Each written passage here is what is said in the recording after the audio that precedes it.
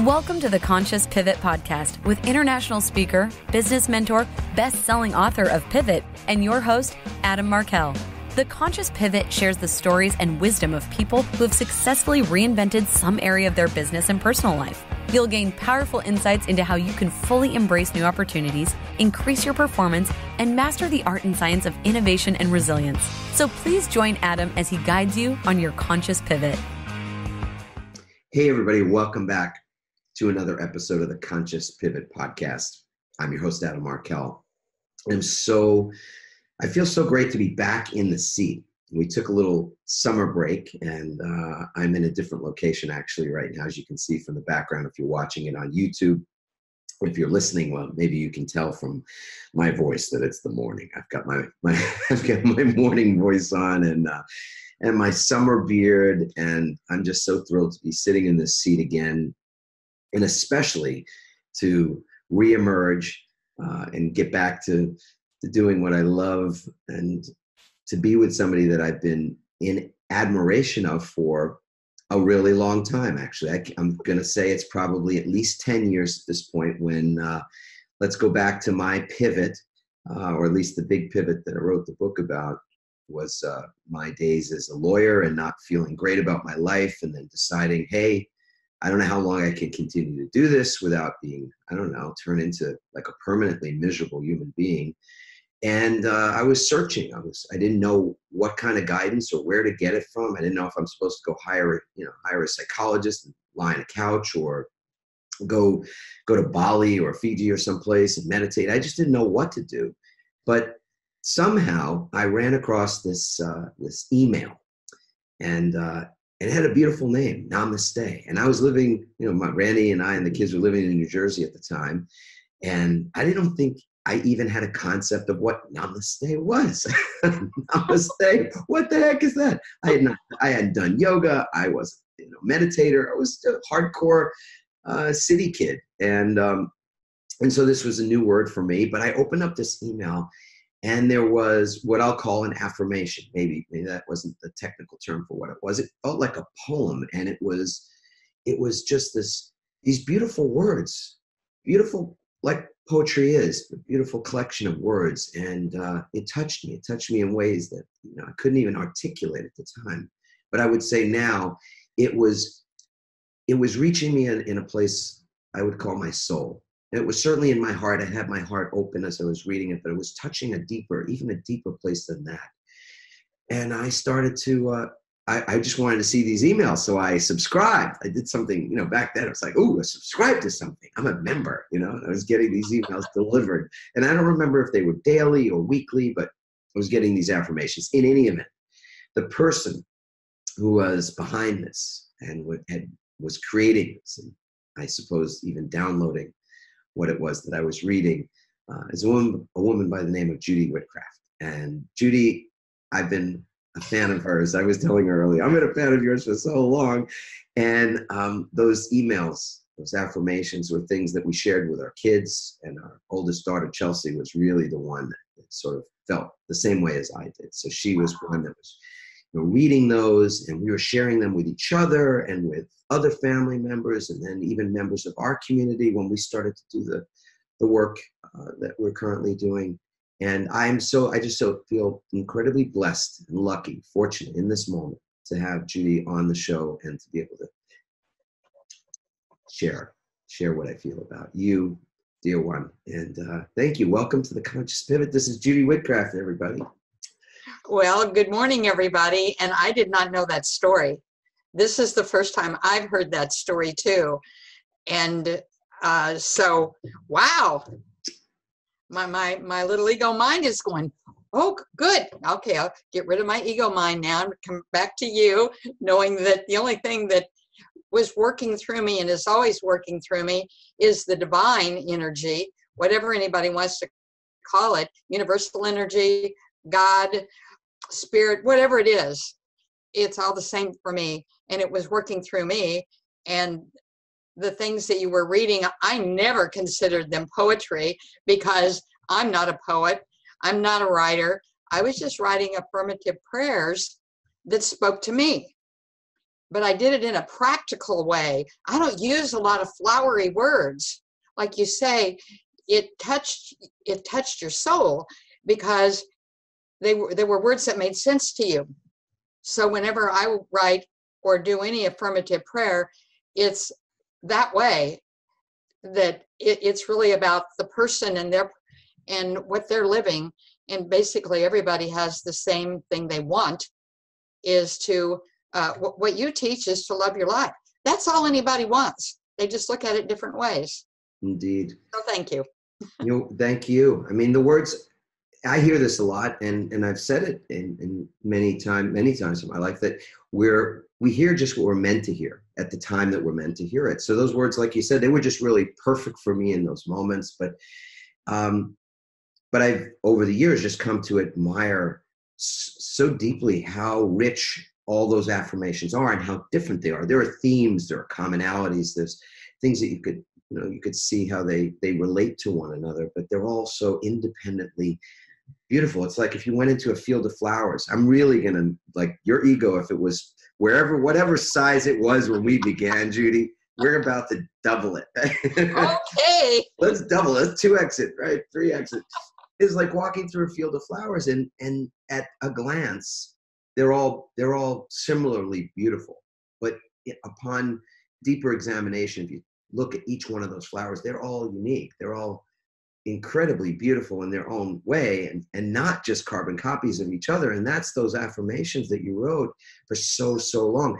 You know what? You're a pivoter. Just you know in in sending us some information preparing for the the interview today, I, I, read a bit about you. I'd love for you to share, if you could, a bit of your history, because you've had a, in many ways, a, I would say, sort of a conventional business background, an entrepreneurial background, and so I want to understand, or at least I, would love for our, our, viewers and listeners to know, you know, what led you through your life uh, as a as a person that ultimately ended up being inspired to share those affirmations. So take us back as far as you want. You can take us back to birth if you like.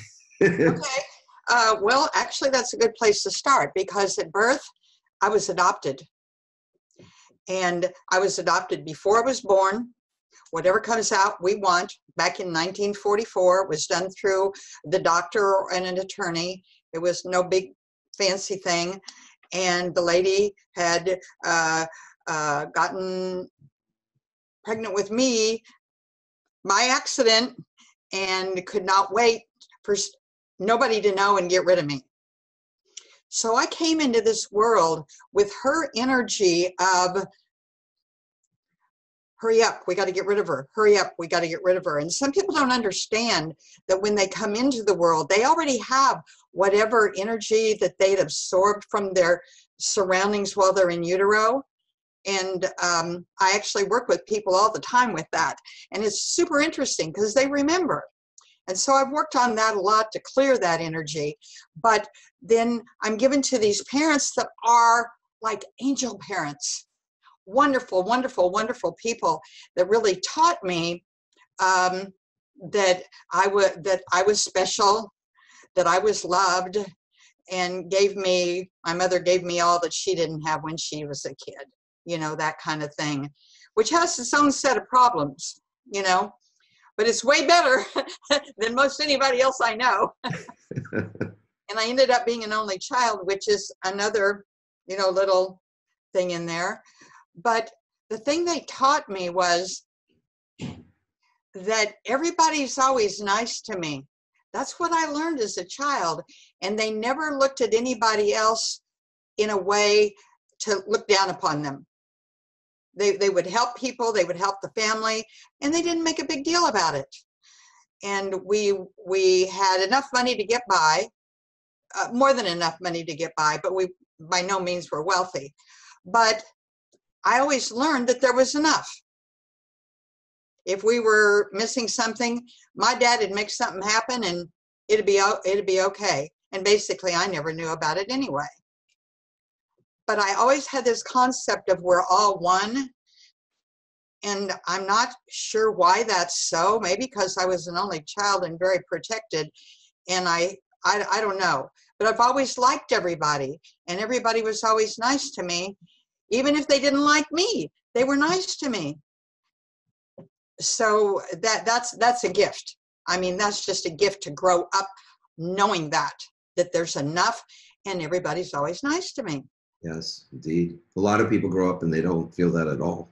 Yeah, exactly. Exactly. Yeah. And so uh, of course, I had to go to college. My mother would make sure you're going to college. There was never any doubt that you're going that I was going to college, and I graduated from Kansas University back in the '60s. And um, that was a radical time to be going to college too. You know, it was right before the crazy time. I graduated right about the time all the re- riots in the streets and Vietnam exploded and all that. So I before drugs exploded, I was never I was never around that. It was never yeah. Mm. And and I'm I'm grateful, you know, that I didn't have to make choices then like that. Right. But um, then I was a school teacher for five years and decided that the public school system was not creative enough for me. oh, I love it. And I was I'd gotten married by then, and we wanted to have kids, and so we moved to this farther out. And after my first son was born, the women in my neighborhood had figured had found out that I had this training in tumbling and dance.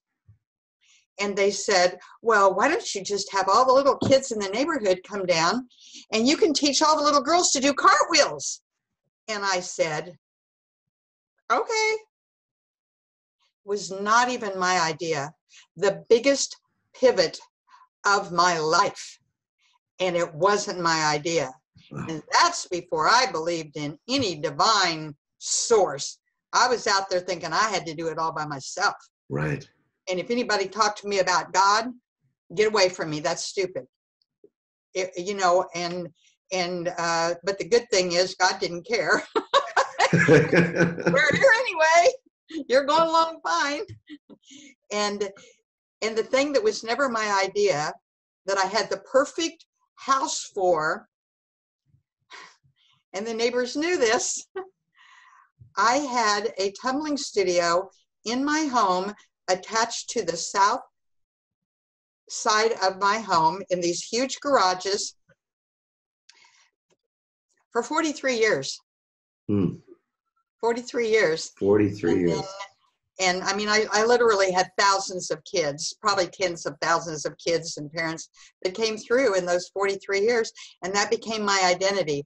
That became the family I never had growing up, being an only child. And to this day, they're still my family. They just, yeah, they just are. So that was my big pivot point that the divine said, here you go, try this. So you're you're in the midst of so you're running a business. You're an entrepreneur. Mm-hmm. You're a mom. You're a wife. You've got a, a, a, few things going on in your life. Where yeah. where where does this this affirmation email come from? Because I think a lot of people are at this point. It, it's a um, you know it's not an unusual thing. It's not a, a terribly yeah. novel or new thing. But back then it really was. There yeah. was a there was another email I remember get coming called uh, Notes from the Universe or something like that. Right, right. Company, right. Come in, tut, you know, and then yours came in and Namaste. I'm not, so where did that? What's the origin story for for your affirmation emails? Well, by 50 years old, I decided I didn't know everything after all. Wait, I, I want you to repeat that if you could, please. Okay. when I was when I was turning 50 years old, I decided, I realized that I didn't know everything and and it wasn't working the way what I was saying. The studio was working fine, but my relationships were not. Mm. Were not. And so I actually, um, my chiropractor said, Hey, I want you to come to this landmark education introduction.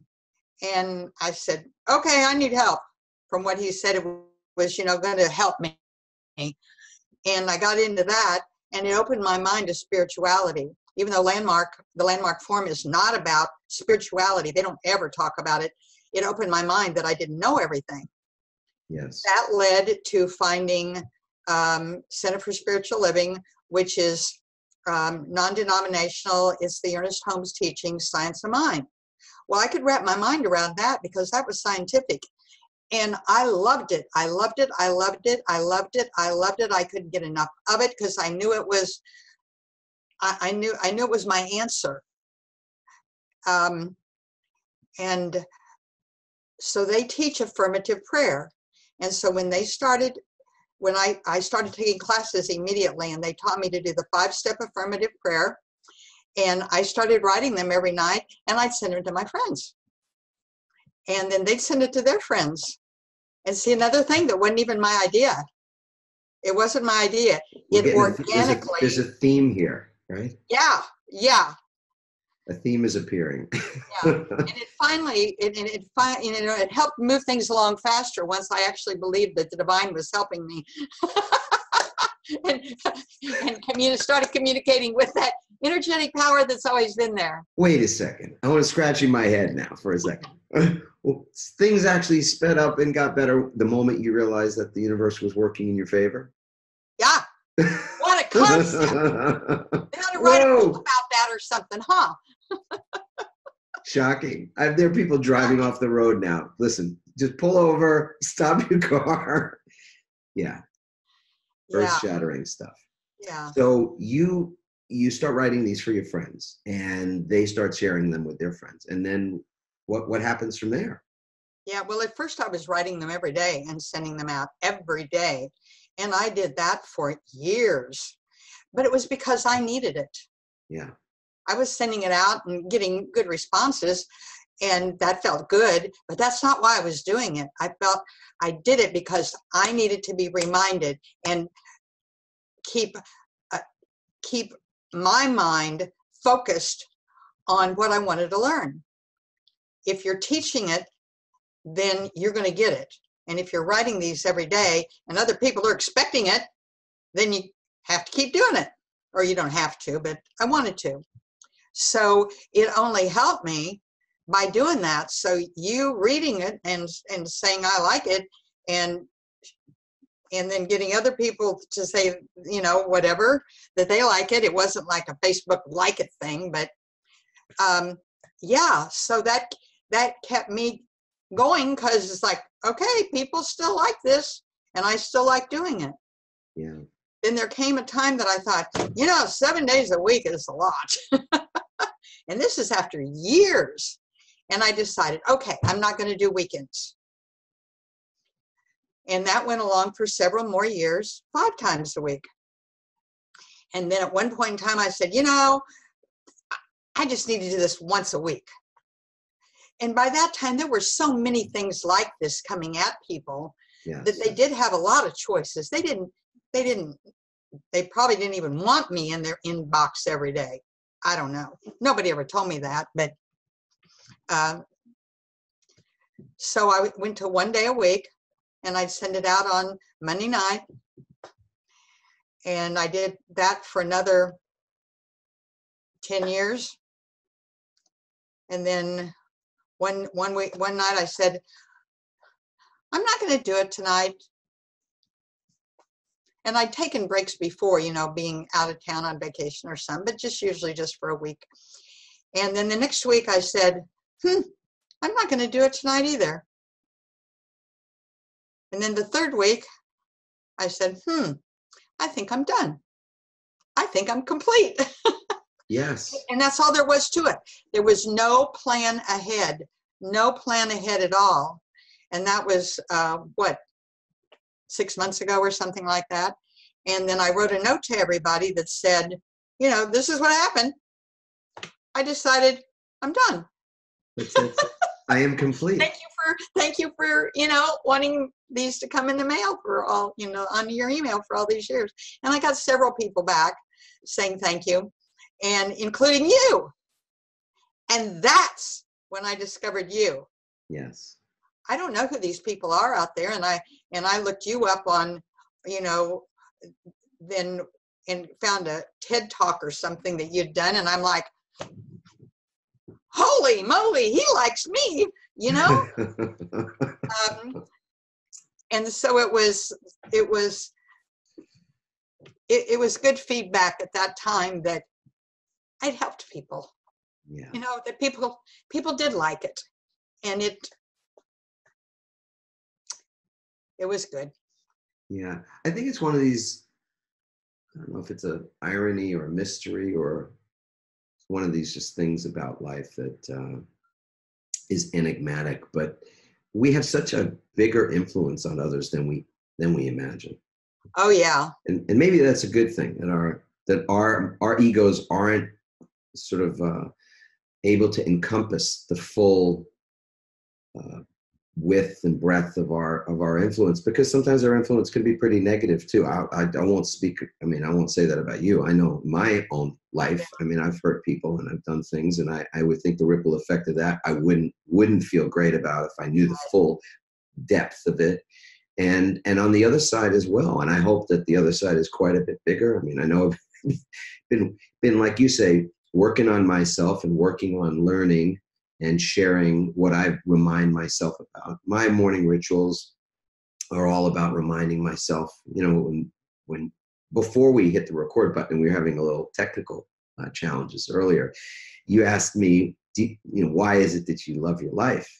And, and I thought that was a really great question because not everybody asks me that. If you're like, I love my life guy, you know, not everybody's going to stand up and go, hey, why do you love your life, buddy? You know, even though I really wish people would do that. And I was so happy you did that. And you didn't say it that way. You was like curious. But I'm like, well, because it reminds me of something that I want to be reminded of, which is my connection to spirit. It's my connection to my creator, to God.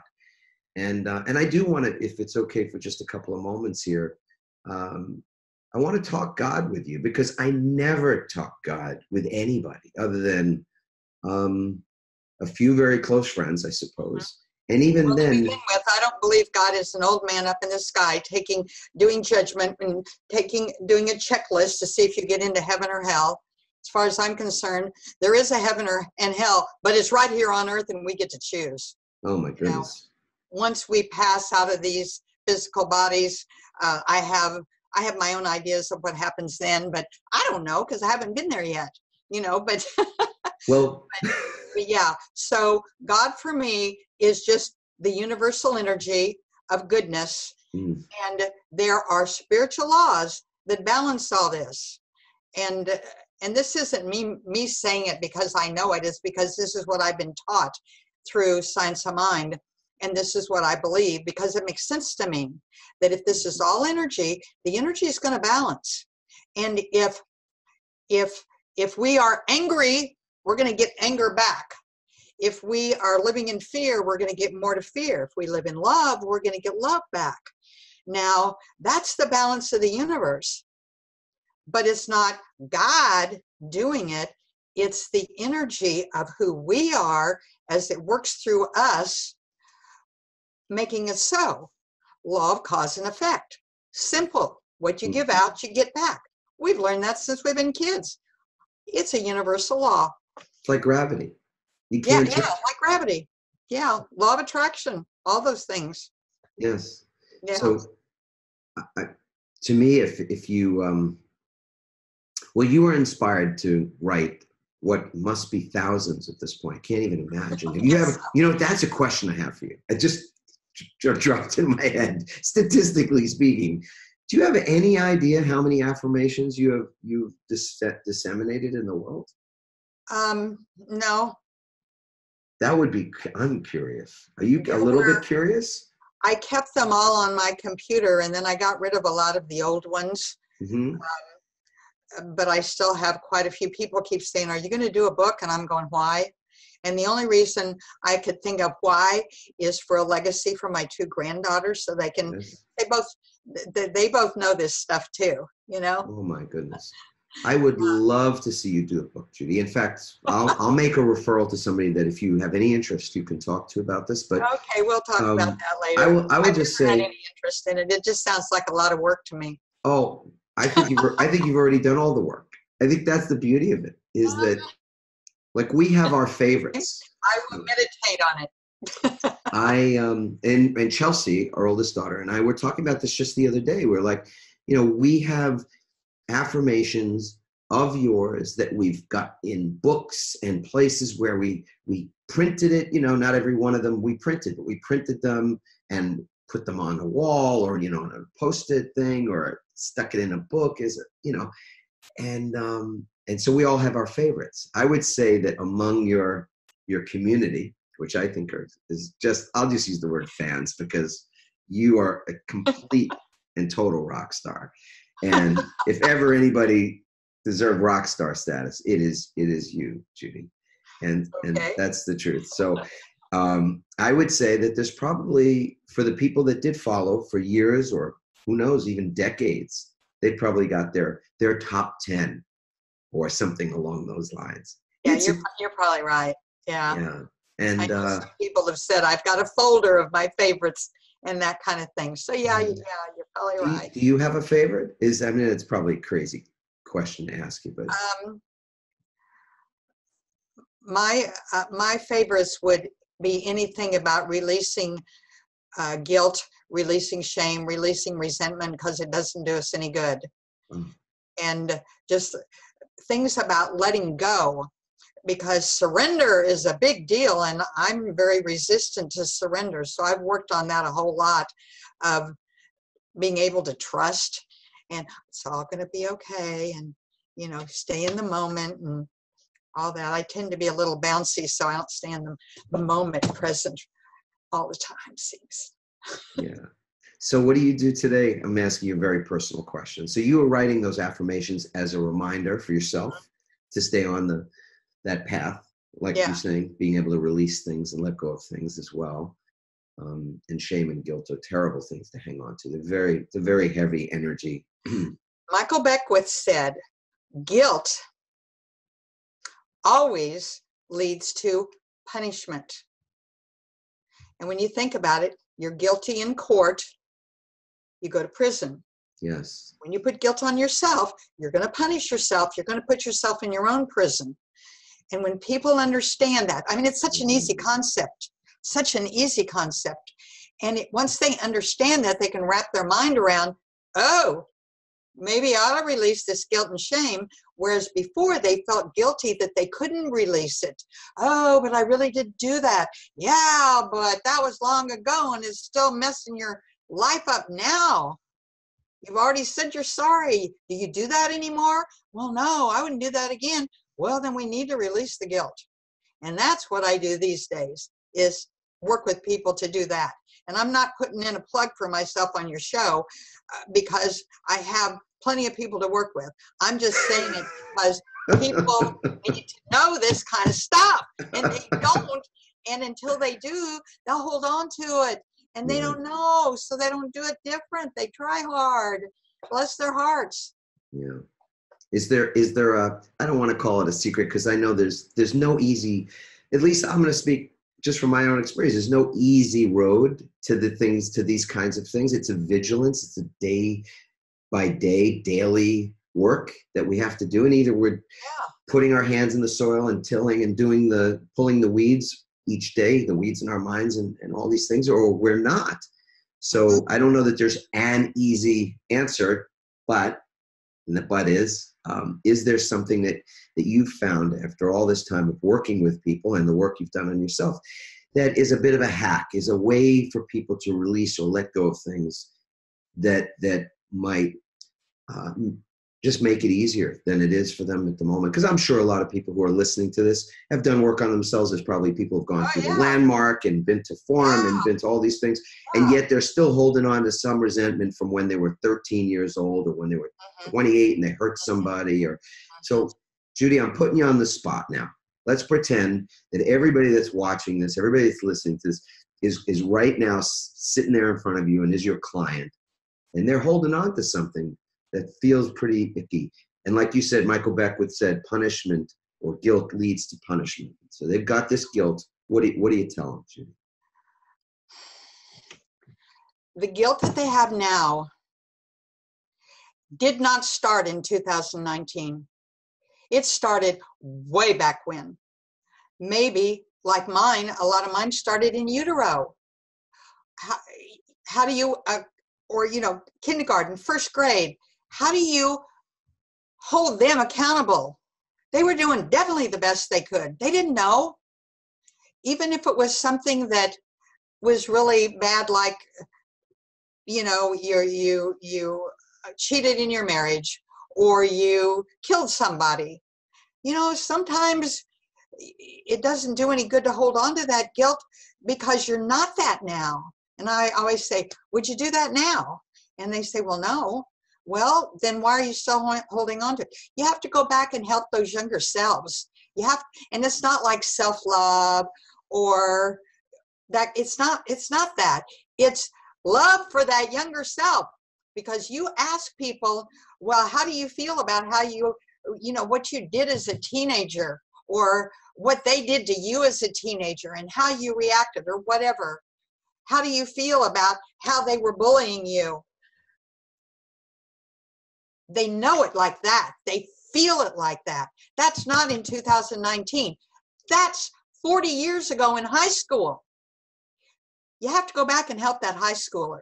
You have to go back and help that that one year old, two year old, three year old, that three year old that was an only child till that new baby came in, and all of a sudden, mama's not having all this uh, attention on you, and you're wondering what happened, even though nothing really happened.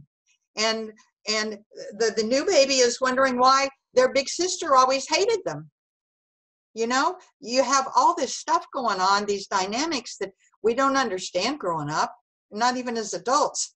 So my magic thing is to go back and help those younger selves. But if you want to hack, as you said, in the moment, what to do is you appreciate everything. And that's what you say. And I'm not saying it because you say, love your life no matter what. I'm saying it because that's the truth. And that's not, that's not an advertisement for you. That's just an advertisement for their lives. Yes. you got me here. I got to tell you, I've done this a few times and I have not been so, you just, it's so moving to, to see the energy, seriously, the energy that you've got for what you do and how you, this is why you've helped so many people, Judy, because you, it's, you embody it. You're living it. It's in, it's in you, the cells of your being. Yeah. And probably, like you said, those cells were formed long before you made your emergence into the into the world. Yeah. And, and this is and this is uh, I I feel incredibly grateful in this moment for you, and I wanted you to know that. That's why I wanted you to come on the show. You're welcome. That's that's all I want these days. That's all I want is to like you. You do the same thing. You just want everybody to have a hack to a better life. And if you stay in claim, blaming and complaining and playing the victim and all that, you're not going to get there. But the people that are there, they're probably not paying any attention to us anyway. No kidding, right? Yeah. Um, our own little drama. We we have so many. yeah. we make our we make our drama so important in so many ways. Yeah. And um, Dr. Christopher Michaels, who's a, a Center for Spiritual Living my teacher from you know the beginning 20 years ago and is funny he would always stand up on the on the platform and and when he'd talk about people that played the victim. And he he'd call them the walking wounded. And he'd and he'd say you know they're not awake. They're not aware. They don't know. They don't know. They know something's the matter but they just stuck there. They're not ready to wake up. And if you try to wake up the walking wounded, you're just going to piss them off. yeah. And it could get dangerous too. We've exactly. all seen that, right? We've yeah, all seen that trying to. you can do, you can be the example, but don't go, oh, I can really help you. You really need help. No. If they're not ready to wake up, you're just going to, they're just going to defend themselves. But if they're ready, you know, then then okay, here I am. What do you want to know? Absolutely, Judy. And then I've you, got my if they ask me. What's that? If if they give me an opening and ask me like yes. you did, okay, what do you want to know? what do you want to know? Oh my goodness. I wow. Just just priceless. Judy, your your website. Will you say what your website is? Uh, it's just my name, judywhitcraft.com. Beautiful. That's simple. Will you spell it for everybody, please? J U D Y W H I T C R A F T. And some people are going, Did she say witchcraft? And it's not witchcraft, but people think that. Then they remember my name. It's like, Oh, I didn't pick that one either. Good job, God. You know? good job, God. I think this is going to be my new mantra today. Good job, God. oh, it's killer. Oh, it's just beautiful. Judy, I have so enjoyed this conversation more than I can tell you. And I, I Anytime, Adam. Anytime. you know what? I'm I'm looking forward to the next chapter, the next installment, and everything that's going on. In um, and you've you've been. I just realized as I'm talking to you what a mentor you've been, and uh, I want to I want to publicly acknowledge and appreciate express my appreciation to you for that for being My such a such a beautiful mentor. Um, so, folks, um, the full show notes will have information about Judy and what she's up to, and of course, her website. So, if you want to check that out yourself, please feel free to do so.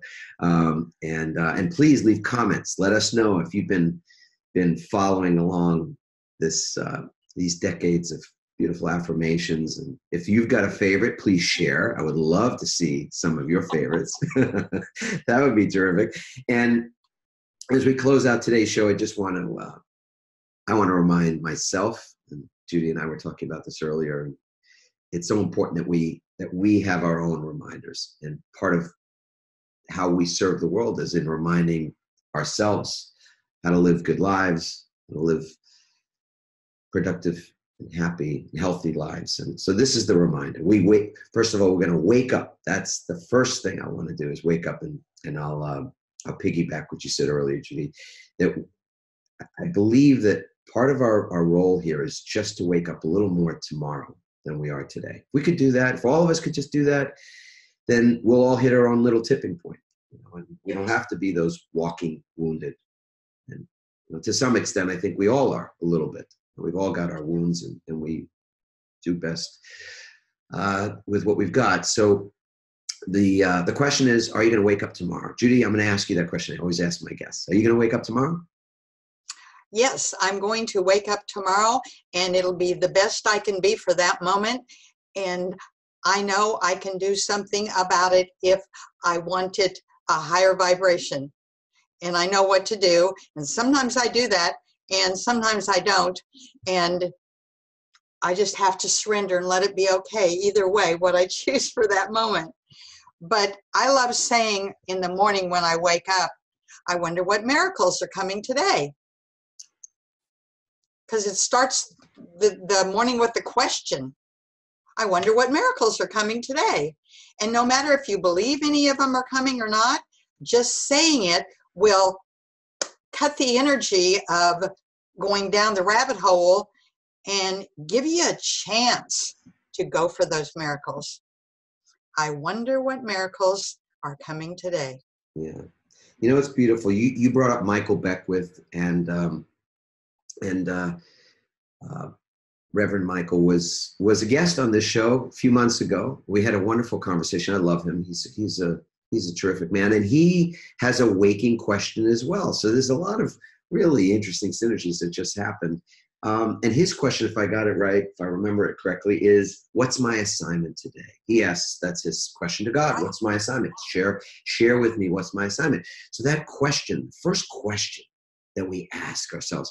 And curious thing about questions, I don't know if you buy this or not, but my, my view of it is it's it has a relationship like cause and effect. You can't ask a question and not get an answer Right. and never know what the timing is to the answer when we're going to get the answer but you i just don't believe you ask a question and don't get an answer so if you ask a question like well i wonder what miracles are coming today holy smokes you're going to get an answer to that question it's just a question you know Yeah.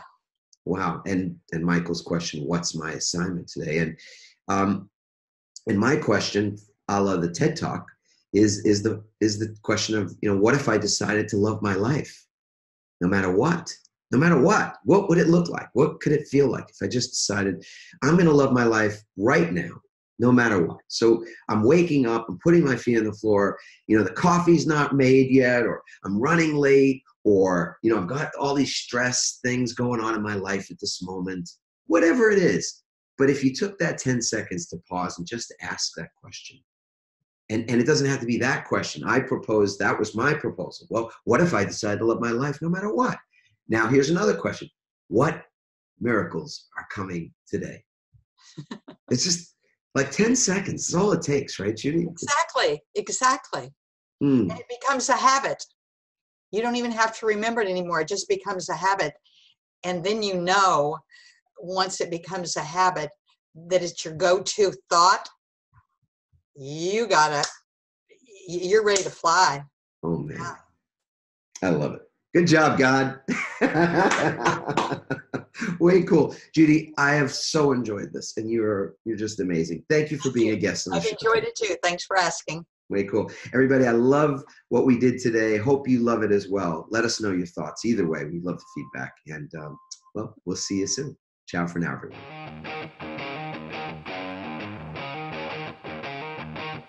Thanks for listening, everyone. We hope you now have the tools and greater insights to navigate your own pivot. Help us inspire others by sharing this episode and leaving your comments over at adammarkel.com forward slash podcasts. For more tips, strategies, and support as you consciously pivot into a new business and lifestyle you love, join our pivot community on Facebook at pivotfb.com.